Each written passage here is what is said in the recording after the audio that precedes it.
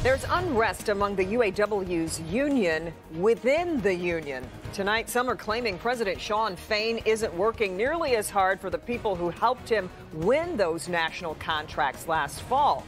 Last fall, of course, UAW President Shawn Fain made a name by his aggressive frontal media assault against the domestic three automakers. And one of the biggest issues that he had with them was the tier system workers making lesser money for the same work. Well, tonight, Local 4 business editor Rod Meloni tells us of brewing anger within the ranks, saying Fain doesn't live by the same rules he expects the automakers to follow. Strange twist, Rod.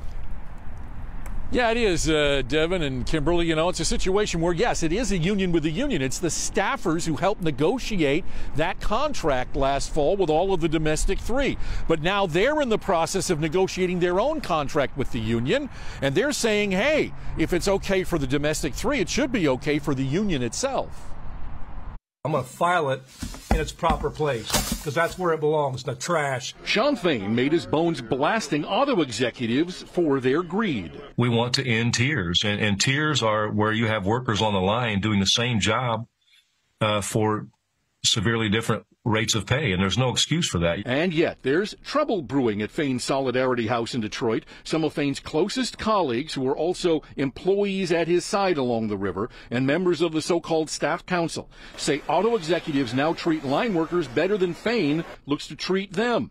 Bargaining team members who don't want to speak on camera tell Local 4 that they're in the process of deciding whether to approve a tentative agreement negotiated with UAW management. We are told it's leaving many cold because the tentative agreement offers a three-year progression to top pay, something Fain refused to accept for the rank and file. In fact, they say, Fain's proposed new contract also adds more classifications that could lead to top pay immediately upon taking the job when others have to wait. And they're deeply concerned about new and tougher disciplinary rules that could lead to a quicker termination.